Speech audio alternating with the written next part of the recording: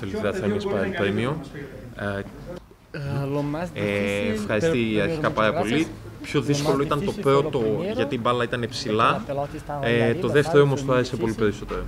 Στο δεύτερο γκολ η μπάλα φτάνει με 9 πάσες από τον τερματοφύλακα από το Ρέις αυτόν και σκοράρει. Είναι ενδεικτικό της ποιότητας και αυτό που περιμένουν να δουν οι φίλοι του ΠΑΟΚ από την ομάδα. Μμμ. Sí, yo- Ε, το πιο σημαντικό και αυτός στο οποίο στέκομαι είναι στο ότι η ομάδα βελτιώνεται κάθε μέρα και στις προπονήσεις και στους αγώνες. Ε, πράγματι το γκολ ήταν πολύ όμορφο και εγώ δεν το είχα πολύ στο μυαλό μου, αλλά μετά όταν ήμασταν στα αποδητήρια το σχολιάσαμε και λίγο με τους συμπαίχτες μου. Αλλά αυτό που, που μιλήσαμε όλοι είναι ότι σιγά σιγά αρχίζουμε και βρισκόμαστε και η ομάδα γίνεται όλο και καλύτερη. Ο Πάοκ έχει τώρα παιχνίδι με την Άξο και εγώ σαν της Αθήνας. Είναι στη δεύτερη θέση.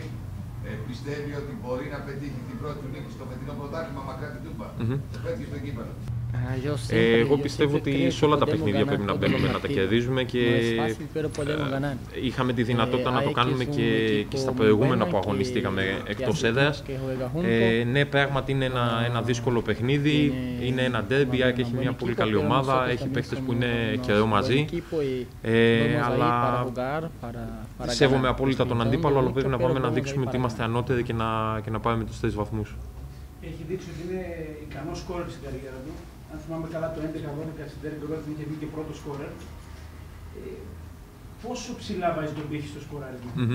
Sí, en 2011, Ε, πράγματι τη χρονιά εκείνη 11-12 είχε κάνει και η ομάδα πολύ καλή χρονιά στην ΤΕΡ και είχα κάνει και εγώ νομίζω είχα πετύχει 9-10 γκολ.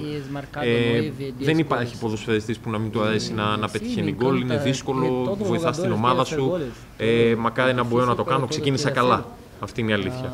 Αλλά όπως ξέρετε είναι η απάντηση που δίνουμε όλοι το σημαντικό είναι να παίρνει τους τρεις βαθμούς η ομάδα και αυτό είναι που μας ενδιαφέρει.